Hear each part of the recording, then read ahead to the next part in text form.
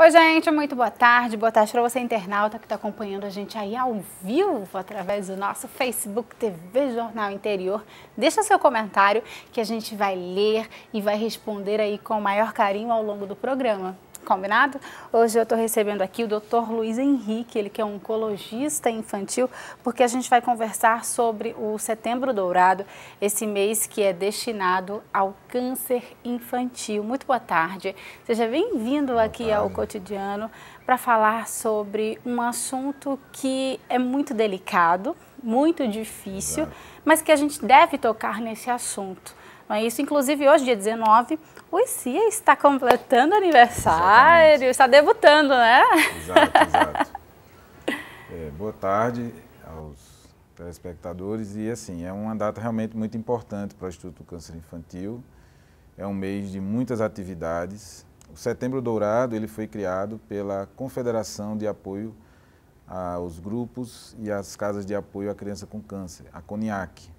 Então, há três anos a gente vem trabalhando a nível nacional, junto com a confederação, todas as casas de apoio, grupos de apoio, instituições que cuidam de crianças com câncer, durante o mês de setembro, fazem ações, fazem encontros científicos, fazem atendimentos né, de mutirão, fazem várias ações simultâneas no Brasil todo, para que a gente possa levar é, informações, divulgar os sinais e sintomas iniciais do câncer infanto-juvenil, tanto para os profissionais da, da atenção básica, pediatras, é, profissionais da área de saúde de uma forma geral, né, porque o câncer infantil ele tem atendimento multidisciplinar, mas também levar as informações para os leigos, para as famílias, os pais, os educadores, porque eles estão em contato o tempo todo Sim.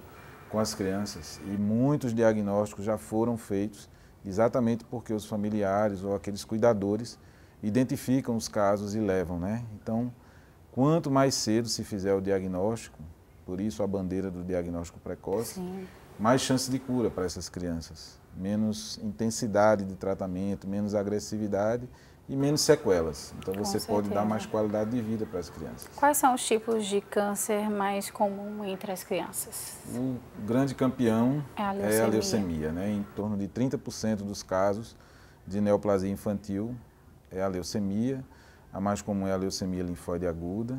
Né? É um diagnóstico, vamos dizer assim, de urgência, porque em poucos dias você pode perder o paciente. Então a gente tem que ser rápido. extremamente rápido, eficaz iniciar tratamento de imediato, mas é importante que além de um diagnóstico precoce, você consiga tratar o paciente num centro de tratamento especializado, por uma equipe preparada né, para essa situação, porque senão você pode causar danos para a vida do paciente. Então, é um diagnóstico que realmente a gente precisa ter muita atenção. O Ministério da Saúde, ele baixou a portaria que o atendimento tem que iniciar, o tratamento tem que iniciar até no máximo 60 dias após o seu diagnóstico. diagnóstico. Mas no Instituto do Câncer Infantil nós temos uma política em que em menos de uma semana até 15 dias no máximo, dependendo das doenças, a gente já inicia tratamento para salvar a vida desses, desses meninos e meninas. Mas vamos falar um pouquinho sobre os sintomas. Eu acho que os pais e, e os familiares que estão assistindo a gente agora, eles costumam ficar preocupados quando a gente fala em um assunto tão delicado, que é o câncer infantil, e aí ligam as anteninhas e se perguntam: como é que eu posso desconfiar que o meu filho de fato tem essa doença? Primeira coisa mais importante, Marcela, é que as pessoas estejam habituadas a fazer a visita frequente ao pediatra de seu filho. Isso é uma das coisas mais importantes. Não deixar para levar a criança só quando ela adoece ou só quando aparece uma situação grave, né?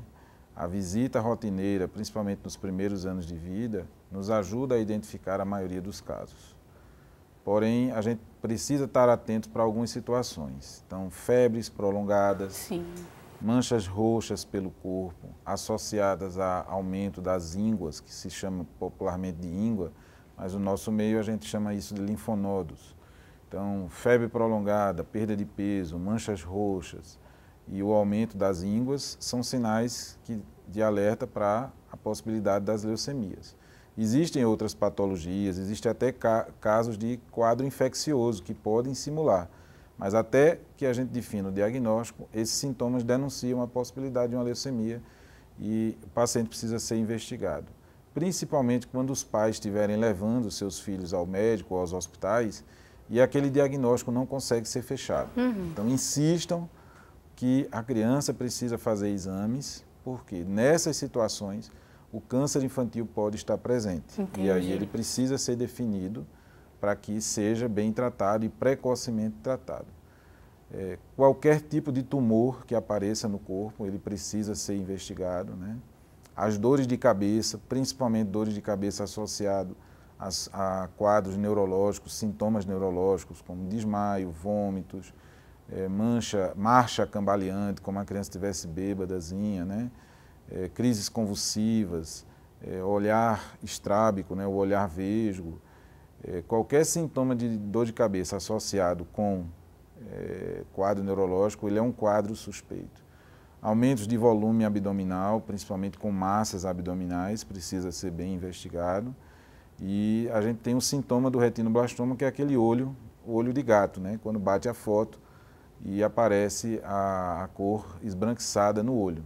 Só que, infelizmente, não é um sintoma precoce, mas é uma forma de você diagnosticar a pessoa vai lá, está numa festa de aniversário, ou está batendo a fotozinha do bebê no book do bebê, e de repente naquela foto identifica o olho de gato, que é o olho de vidro, né? Quando você vê uma luz bater no olho do gato, aquele olho reflete. Sim. Então aquela luz branca pode ser o sinal de um tumor ocular. Entendi. E ele também pode ser identificado no teste do olhinho. Porque o, o retinoblastoma é um tumor comum desde o, zero, desde o zero até os quatro anos de idade. Era isso que eu ia perguntar. Então, a idade em sintomas, que esses, né? esses tipos de cânceres podem começar a se desenvolver é, nas crianças? Tem alguns que são bem comuns. O retinoblastoma, por exemplo, ele é do zero ao, ao quarto ano de vida.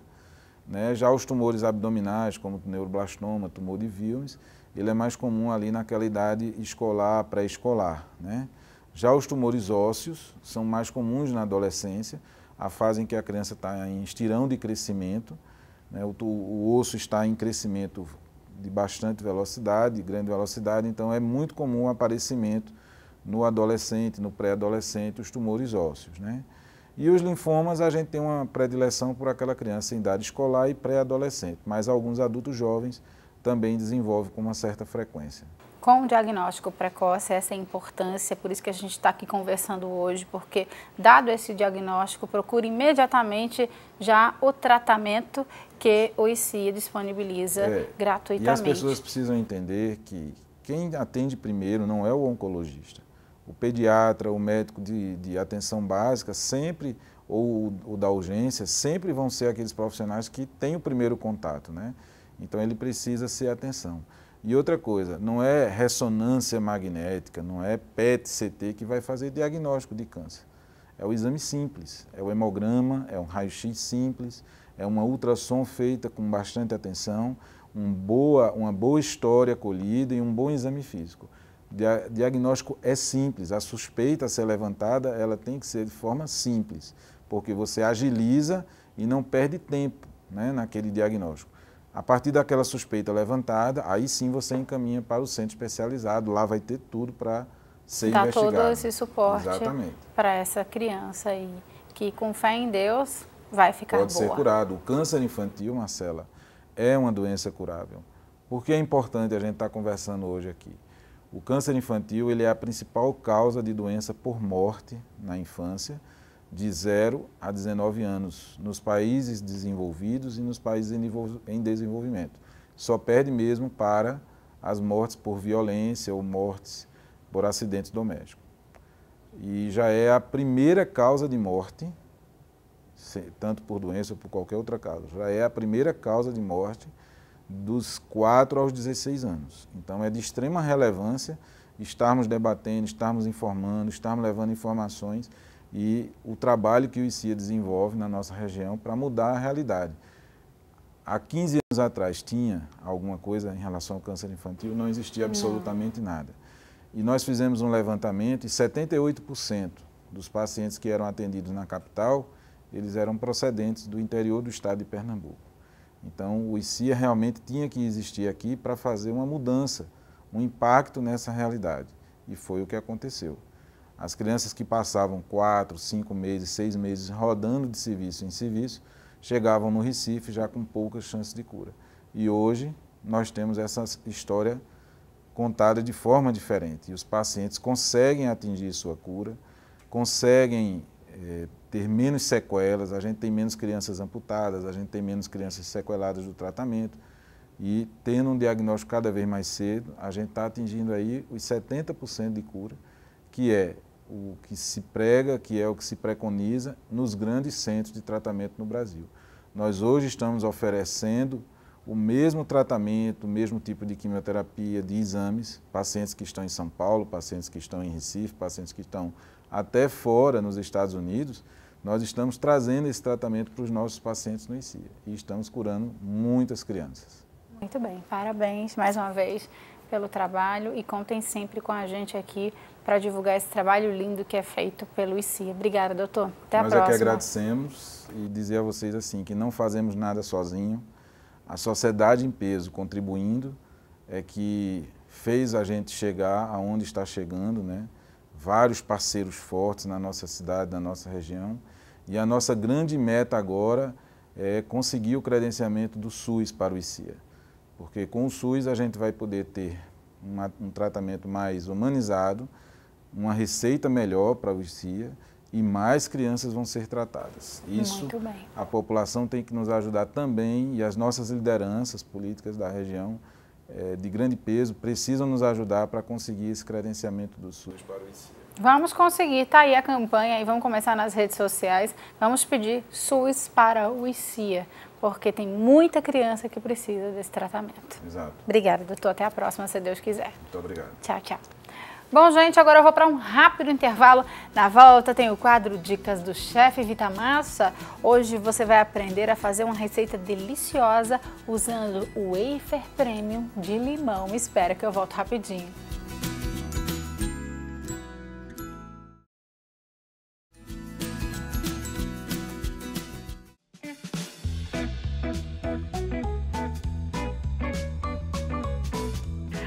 De volta com o cotidiano, hoje quarta-feira, dia de dicas do chefe Vitamassa. Hoje a receita vai ser feita com o wafer premium sabor limão. Será que é fácil fazer uma sobremesa usando esse tipo de wafer? Claro que sim! Eu estou aqui com o chefe internacional Juan Acosta. Seja bem-vindo mais uma vez aqui ao cotidiano. Dessa vez para fazer uma sobremesa que você se inspirou, que ela, ela vem direto da Inglaterra. Isso. Como é o nome da sobremesa? Um eton mez de waffle de limão. Hum, sabor do limão, muito bem, claro, utilizando a base desse wafer de limão Vitamassa, que é maravilhoso, para dar essa crocância, Exatamente. que é bem característica desse tipo de sobremesa. Exatamente, a crocância em, em si leva um suspiro, que é o que hace crocante. Muito bem, então vamos de fato montar essa sobremesa. Qual é o primeiro certo. passo? O primeiro chef? passo, vamos a guardar esto de aqui que já temos feito. Certo. Vamos utilizar nosso biscoitinho de manteiga. Certo. Com sal. Vamos a dar a primeira crocância, bem fácil também. Um pouquinho desta mousse de limão. A mousse de limão que ele misturou o leite condensado com o suco com suco e do um limão raspas. e a raspa do limão misturou e já fica com essa consistência Exato, aqui consistência de passamos um pouquinho por liquidificador, certo? Certo. Estamos assim, nas etapas. Certo. Agora vamos a colocar o chantilly que temos aqui. Certo. Colocamos para reforçar o sabor do salgado, porque está muito doce, para combinar e misturar uhum. um pouquinho daqui. Agora vemos aqui com, com o wafer, wafer sabor limão. Um pouquinho. O limão, no caso, tem também no, na moussezinha e no wafer Vitamassa. E aqui vamos fazer o mesmo que fizemos. Crack, crack, crack, crack. e crack. Outra vez. um pouquinho mais de esto. Vamos a misturar aqui. Uhum. Bem misturado. Vamos a colocar dois wafers aqui. Sim. Assim. Para que a pessoa que faça em sua casa possa montar da maneira que quer. Certo? Nossa, que legal. Muito fácil, muito rápido. Muito bem. Então, ó, essa foi a sobremesa Dicas do chefe de hoje que o chefe Juan Acosta preparou com todo carinho para vocês, que se chama Etomés, usando wafer de limão Vitamassa. E claro que Vitamassa é os melhores produtos, né, gente? Não tem como. Os melhores biscoitos, desde wafers, desde recheados, creme crackers, maisena, Maria. Tem massa para bolo, tem massa também para você preparar aquele macarrão divino. Certamente. Ou seja, Vitamassa tem tudo o que você precisa. E ainda mais essas novas embalagens, E gostoso, sobre que ajuda muito, não? Chegou a melhor hora provar a nossa receita de hoje, dicas do chefe Vitamassa usando o wafer de limão. Só lembrando que você que está assistindo a gente pode estar aqui também na cozinha. E sabe o que é melhor? Porque você pode ganhar uma cesta recheada de produtos e aí sim vai testando e fazendo novas receitas para voltar aqui no programa. Agora eu vou provar aqui Etomés de wafer de limão. Hum. Gente, que delícia, chefe! A crocância do wafer o limãozinho no fundo, adocicado bem leve, bem suave do chantilly. Não fique enjoado, gente. Hum. Hay que ensayar estos padrões um pouquinho. Arrasou. Hum. Muito bom. Muito, muito bom. Adorei, chefe. Muito obrigada. Até Obrigado a próxima, a você. Até na quiser. próxima.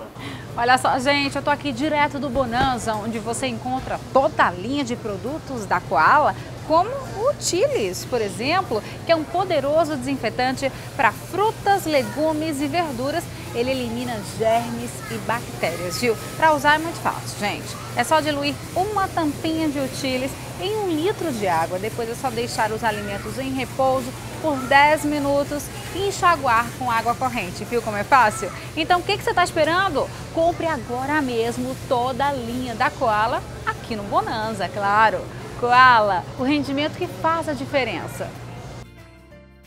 Olha só, gente, agora eu vou para um rápido intervalo na volta. Tem uma reportagem sobre uma iniciativa muito bacana. Nós vamos mostrar para vocês o projeto Transformar. Esse grupo de pessoas que se reuniu para realizar o sonho de algumas adolescentes a fazer a tão sonhada festa de 15 anos. E também tem uma super dica de moda. Thaís Oliveira vai falar sobre as calças curtas. Pois é, calças curtas. Me espera que eu volto rapidinho.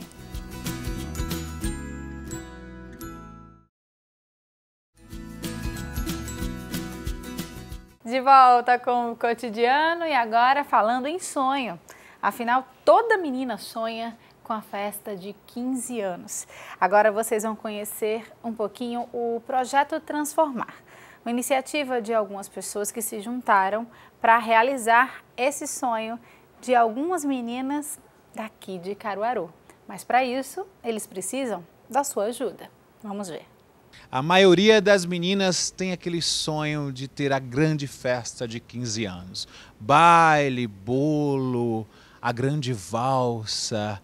E quem sabe este sonho não se torne realidade com um projeto? Eu estou ao lado da Amanda, que já está pronta, não é, Amanda? Esse é o vestido que você escolheu? É esse mesmo que eu escolhi. Pois é, você está feliz com esse projeto que vai acontecer? Estou muito feliz, muito de verdade. Tinha esperança de ter esses 15 anos? Não, foi uma coisa bem inacreditável, eu não estava esperando. E a emoção está muito grande e muito ansiosa, eu estou. Aí você está em casa se perguntando, mas que projeto é esse? Eu já vou contar para você. Mas antes, vou conversar com a Emanuele, que é a coordenadora da escola, que vai me falar sobre essa emoção, Emanuele, de receber esse convite, né? Me fala aí. É, bom dia. Então, o projeto Transformar, né, veio transformar esses sonhos em realidade, né? O, o sonho de três alunos da nossa escola, do prefeito João Leira Filho. E está sendo gratificante participar de cada momento, né? De cada realização, né? E junto formar parceria com nosso amigo Neto, né? Que está à frente desse projeto, né? E esse é um primeiro projeto, né? Que é o baile de 15 anos, que irá acontecer aqui em Caruaru, dia 30 e fazer parte tem sido algo motivador na vida desses alunos. Quando você contou para elas que seriam elas as escolhidas, qual foi a emoção? Foram várias, né? Primeiro elas não sabiam porque é, se deu a partir de uma redação que foi feita na escola. É, dez alunas foram chamadas, mas só três entregaram essa redação. E as três foram é, escolhidas, mas não sabiam que essa redação ia ser, ia ser para essa festa de 15 anos. Acharam que é para contar sobre a vida delas, é, do nascimento até os 15 anos. Né? Então, assim, é, foram choros, foram sorrisos, são realizações né, que vai acontecer. Olha aí, tá vendo? Já fica um recado para você. Quando alguém pedir alguma redação na escola, faz e entrega, viu? Vou conversar agora com o idealizador do projeto. Já estou aqui vendo a camiseta dele. É Projeto Transformar. Antenor Neto. Que projeto fantástico é esse? Me conta do início da ideia até agora, esse de 15 anos, que é novidade, né?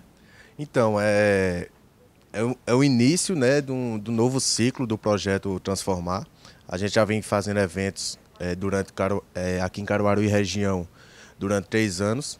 E agora a gente, para comemorar esses três anos do projeto, a gente veio com esse baile de, de debutantes para dez jovens carentes de Caruaru para realizar realmente o sonho, o sonho dessas, dessas meninas. Acontece quando? Dia 30 de setembro no Fulano Hall. Ok. É um projeto totalmente filantrópico, né? Assim, e eu quero saber como é que a gente faz para poder ajudar. Você, empresário que está vendo a gente agora, porque a audiência do cotidiano é maravilhosa, principalmente entre os empresários da nossa região, estão sempre lá com as televisões ligadas nas suas lojas.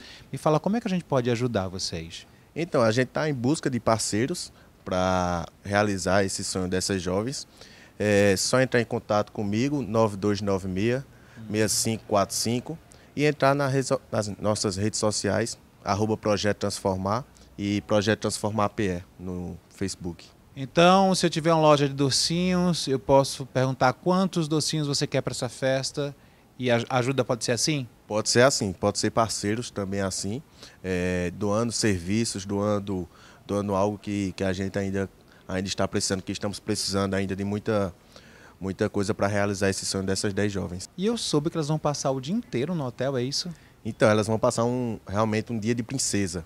Elas vão passar o dia no hotel, onde depois é, iremos buscar elas até o local do evento, com alguns carros antigos. Hum. E depois lá no, no Fulano Hall, onde vai ser o evento, vai ter valsa, buffet, é, shows, 10 príncipes para dançar a valsa com elas. Então vai ser um dia bem especial para essas jovens. Ok, inesquecível, né? Para elas e para vocês. É verdade, inesquecível.